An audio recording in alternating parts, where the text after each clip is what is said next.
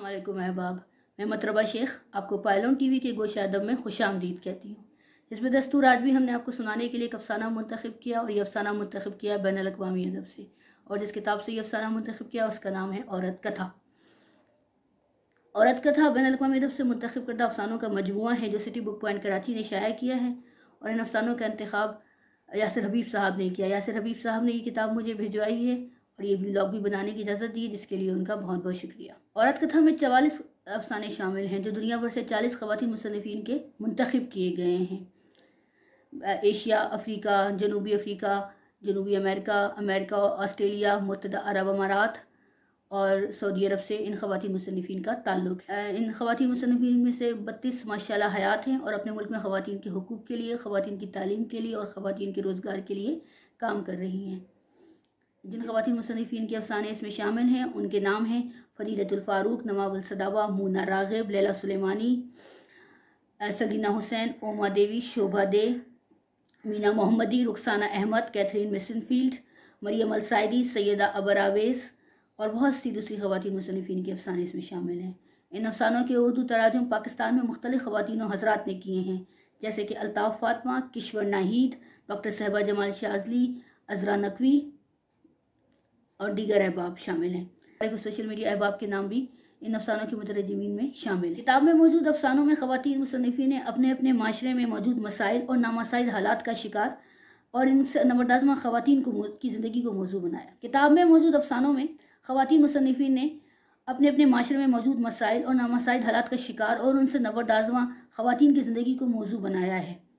लेकिन साथ ही साथ अपने मुल्क के सियासी हालात, अपने माशरों में फैली जहालत फरसुदा और गैर इंसानी रसूम व रवाज और गैर सेहतमाना तनकीद जो अमूमन ख़वान पर की जाती है, उस गैर सेहतमाना तनकीद को भी अपने अफसानों का मौजू बनाया गया है।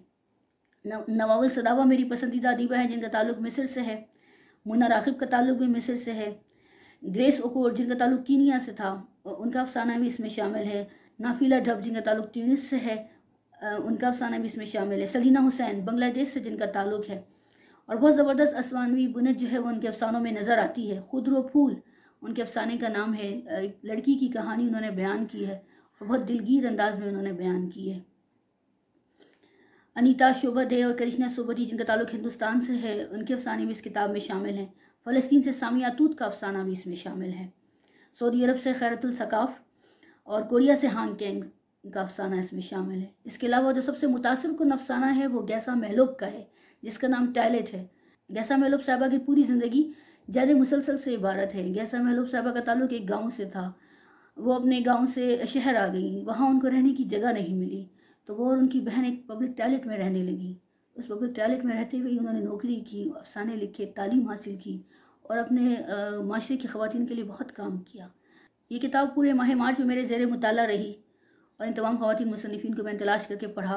इनके कॉलम्स भी पढ़े, इनके मज़ीद अफसाने भी पढ़े और इनके मुल्क में इनका क्या मकाम है मैंने उसके बारे में भी पढ़ा। ज़िंदगियों में किन मसाइल से नबरदाजमा रही, मैंने उसके बारे में भी पढ़ा। और जब सब ख़वान की सब ख़वान मुसनफ़िन की मुश्तर काविशों और कोशिशें जो हैं वो एक ही मकसद के तहत हैं।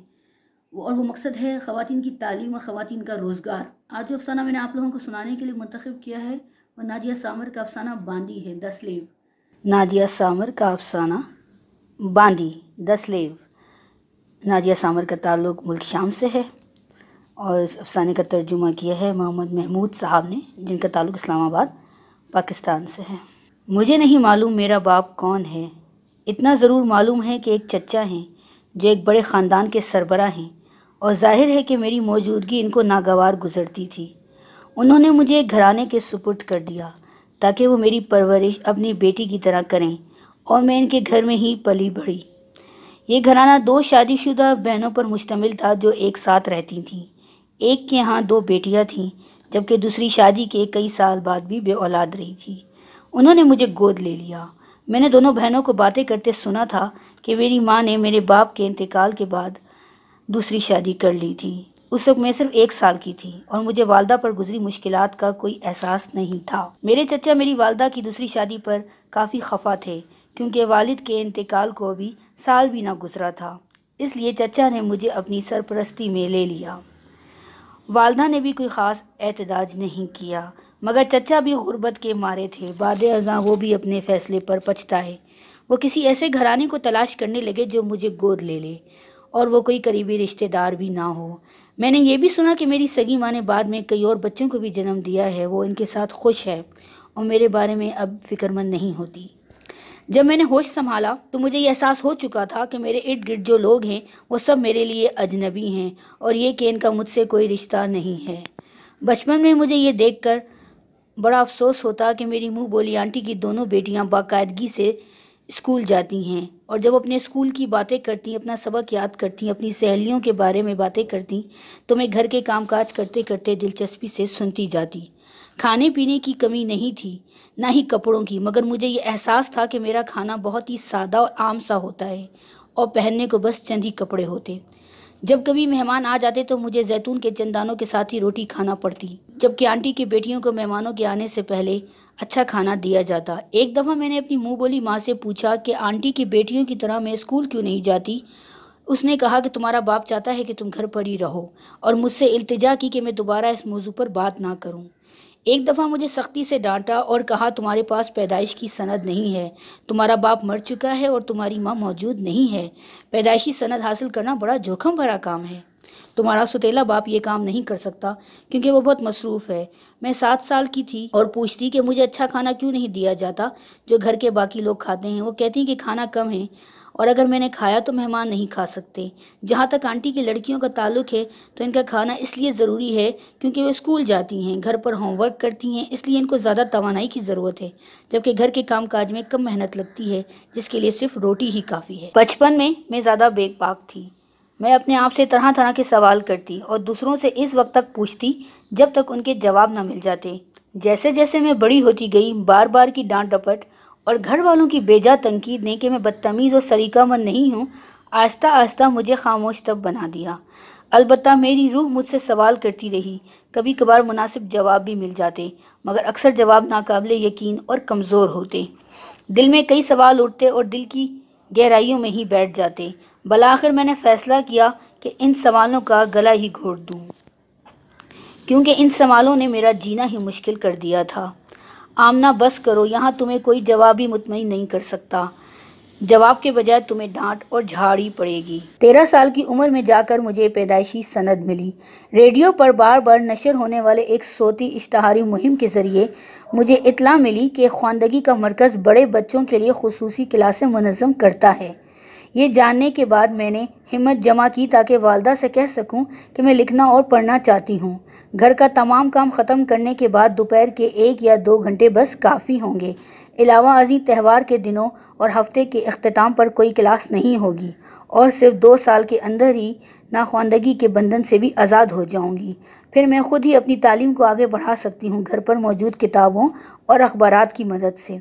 मेरी सुतेली माँ ने मुझे गुस्से से देखा और कहा, क्या तुम्हें यह सही लगता है कि एक बालिग लड़की हर रोज़ घर से दो या तीन घंटे बाहर गुजारे? तुम देखने में सोलह साल की लगती हो। जो भी तुम्हें देखेगा, वो बड़ा ही समझेगा। तो क्या हुआ? तुम्हारा बाप इस बात की हरगिज इजाज़त नहीं देगा कि तुम किसी ऐसे मरकज़ पर गली गली घूमती हुई जाओ, क्योंकि उसे तुम्हारा बहुत ख्याल है। मेरा ख्याल? और मेरे अंकल को अपनी बेटियों का ख्याल क्यों नहीं है? वो दोनों तो मुझसे उम्र में बड़ी हैं। हर बाप अपने अंदाज से बच्चों को पालता है। इसके अलावा अगर मेहमान आ जाएँ तो मेरी मदद कौन करेगा? मैं जाने से पहले चाय बना कर जाऊँगी। अगर मेरी गैर मौजूदगी में मेहमान आ जाएँ तो आप सिर्फ़ चाय गर्म करके मेहमानों को पेश कर दें। मरकज़ ख्वानदगी ज़्यादा दूर भी नहीं है, और मुझे सिर्फ़ दो घंटों के लिए ही जाना होगा। मैं अपनी बहन की बेटियों से इल्तिजा करती हूँ कि वो तुम्हें घर पर ही लिखना पढ़ना सिखा दें। जहाँ तक बात है, तुम्हारे ख़वानदगी मरकज़ जाने की, इस पर अब कोई बात नहीं होगी। और अगर तुम इस मौजू पर बात करोगी तो तुम्हारा बाप नाराज़ हो जाएगा, समझी? मेरी आंटी की बेटियों ने मुझे पढ़ाने से ये कहकर इनकार कर दिया कि उन्हें पहले ही बहुत काम करना होता है।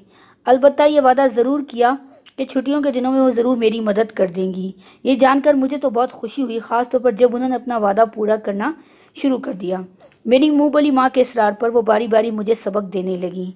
मुझे पढ़ाना तो अब इनके लिए एक तफरी बन चुका था। जब भी मैं कोई इमला की गलती करती या किसी अल्फाज का तलफ़ गलत अदा करती तो दोनों बहनें खूब हंसती और फिर तो हफ्तों मेरा मज़ाक उड़ाया जाता। ख़ास तौर पर रिश्तेदारों या मेहमानों के सामने। मैं बस शर्मिंदा ही होकर रह जाती और ख़ुद पर ही गुस्सा करती। तहम मैं ये सब बर्दाश्त करती और हर दफ़ा सबक लेने बैठ जाती, जब तक मुझे पूरी तरह लिखना पढ़ना नहीं आ गया। और अब मैं इबारत ख़ुद पढ़ सकती थी। हाँ क़वत इरादी, सब्र तहमुल और साबित कदमी से मुझे बला आखिर कामयाबी मिल ही गई। मगर बदले में मुझे दोनों बहनों के कपड़े इस्त्री करना पड़ते। इसके अलावा दीगर कामों में भी इनकी मदद करना होती। जब भी अगर मुझसे कोई काम छूट जाता या कोई गलती हो जाती तो मेरी मुँह बोली माँ मुझे डांटती तो वो तुम्हारी पढ़ाई से आखिर क्या फ़ायदा हुआ? अब तो तुम और भी बेवकूफ़ और घामड़ बन गई हो। अब मैं बीस साल की हो गई हूँ। मैं घर की सफ़ाई करती हूँ, खाना बनाती हूँ और घर के छः अफराद के तमाम दीगर काम भी करती हूँ। मज़ीद बना, मेहमानों की खातिर मदारात और इनके साथ आने वाले बच्चों के नाज नखरे भी। मुझे ही उठाना पड़ते हैं। अब एक मायर खातून खाना हूँ, जो घर गृहस्थी से खूब अच्छी तरह वाकिफ़ है। कपड़े धोना, खाना पकाना, कपड़ों को इस्त्री करना, कपड़े सीना या लिखना पढ़ना, अलगर्ज में सब कुछ कर सकती हूँ। मेरे लिए नौजवानों के कई रिश्ते आए, जो मुझसे शादी के ख्वाह थे। मगर सबको यह कहकर इनकार कर दिया गया कि वो मेरे लिए मुनासिब नहीं है। मेरी मुँह बोली माँ कहती है आमना में किस चीज़ की कमी है? वो खूबसूरत है दराज कद है और सलीकामंद है। इसके अलावा घर गृहस्थी से भी वाकिफ़ है। इसके लिए तो किसी वज़ीर या सफ़ीर के बेटे का रिश्ता आए तो बात बने। इसे जल्दी किस चीज़ की है? अब तक जितनी रिश्ते आए वो सब कमतर लोगों के तो थे। फिर मेरी आंटी की बेटियों ने मेरे कान में सरगोशी की।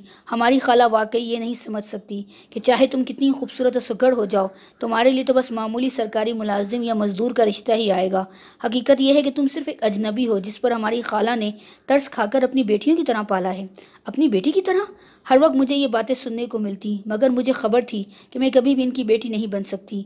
बाद में मुझे एहसास हुआ कि वो मेरे लिए आए रिश्तों को इसलिए इनकार कर देती हैं क्योंकि वो चाहती थी कि मैं इसी तरह इनकी खिदमत करती रहूँ। मैं सिर्फ़ एक मुलाजमा हूँ, जिसकी कमो बेश कोई तनख्वाह नहीं है। इससे बदतर यह कि मुझे हमेशा एक मुलाजमा ही बनकर रहना है। यही मेरी तकदीर है और ये राज हमेशा मेरे दिल में ही रहेगा। आहिस्ता आहिस्ता मैं खामोश रहने लगी और ज़िद करना छोड़ दिया। मैं सब कुछ जानती हूँ, पर कहती कुछ नहीं। यूँ ही मेरी उम्र शायद तीस साल या चालीस साल हो जाए और मैं इसी तरह लब दो रुखता रहूँ, कुछ भी ना कहूँ और इस ख़ानदान की खिदमत गुजारी करती रहूँ। मैं सिर्फ़ एक ग़ुलाम हूँ, जिसकी कमर झुक चुकी है और मेरा खूबसूरत दराज का सरापा महज एक शराब है। हकीकत का इल्म मेरे अलावा किसी को नहीं। क्या तल हकीकत है? अब मुझे इल्म हुआ कि अधूरी तालीम और ख़ूबसूरती किसी को आज़ादी दिलाने के लिए काफ़ी नहीं है। मुझ समेत जो भी अहानत अतात और जुल्म सितम का आदि हो जाए। इनके लिए ग़ुलामी से निजात हासिल करना बहुत मुश्किल है। बज़ाहिर मैं आज़ाद हूँ, मगर मेरे हाथ बंधे हैं। मेरे हुसन की कोई वक़्त नहीं, क्योंकि मैं इस घर में एक अजनबी हूँ। और जो महारतें मैं, मैंने सीखी हैं, वो सिर्फ़ और सिर्फ़ इस खुशकस्मत घर वालों की खिदमत गुजारी के लिए हैं। मुसलसल काम की वजह से मेरी कमर झुक चुकी है, जबकि मेरे अंदर इस जबर ग़ुलामी और नाानसाफ़ी से जान छुड़ाने की ताकत और हिम्मत भी नहीं है। ये अजियत मेरे लिए ख़त्म होने वाली नहीं। किसी भी दूसरी बांदियों की तरह जिनकी ज़बान बंद कर दी गई हो। और जिनके एहसास को सुलगती आग से हमेशा के लिए दाग दिया गया हो, ताकि वो हमेशा अपने मालिकों का हुक्म बजा लाती रहें, बग़ैर किसी एतराज़ के, जब तक वो मर नहीं जाती और दफन नहीं कर दी जाती और फिर कब्र की चार दीवारी और इन सलाखों में क्या फ़र्क है, जिन्होंने मुझे अब जकड़ा हुआ है? क्या एक कब्र ज़िंदगी से ज़्यादा बेहतर जगह नहीं होगी? ये था नादिया सामर का अफसाना बांदी।